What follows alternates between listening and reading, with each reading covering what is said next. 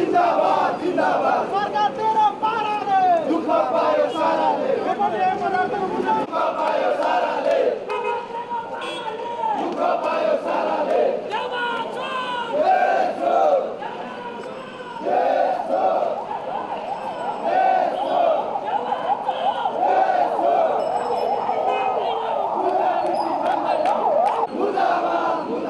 Petroleum पदार्थको मूल्यवृद्धि खारेज गर खारेज गर खारेज गर पेट्रोलियम पदार्थको मूल्यवृद्धि खारेज गर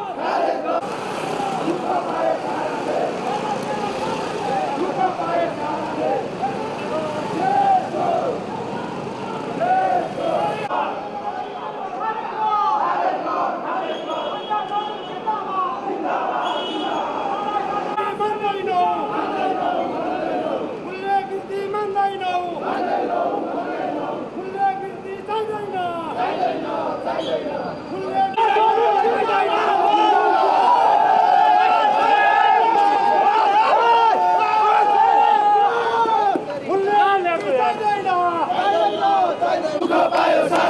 मूल्य पेट्रोलियम पदार्थको मूल्यवृद्धि फिर्ता गर पेट्रोलियम पदार्थको मूल्यवृद्धि खारेज गर पेट्रोलियम पदार्थको मूल्यवृद्धि खारेज गर हामी देउबा तेरो पाराले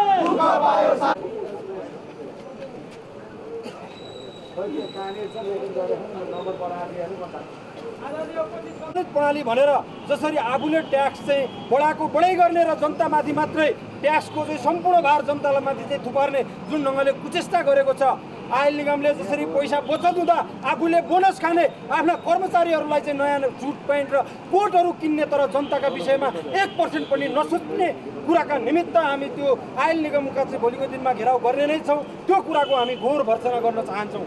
अन्धा सोबीले हिजोको दिनमा पनि मूल्य वृद्धिको सवालमा होस् चाहे त्यो जनजीविकाको सवालमा होस् चाहे त्यो विद्यार्थीका हक हित र शिक्षकहरूको सवालमा होस् चाहे त्यो देशको सिमाना मिचिँदा लिपु लेक र लिम्पियाधुराहरूको विषयमा होस् अनिराज सोबिउले आफ्नो झन्डा बुलन्द गर्दै र अनिराज सोबिउले एउटा आफ्नो टाउकोमा कफन बाँधेर जसरी आन्दोलन गरिरहेको छ र जनतालाई भनिरहेको छ देशमा भएका समसामयिक समस्याहरू र समाधानका निमित्त सरकार हो सरकारले त्यसको नेतृत्व गर्नुपर्छ।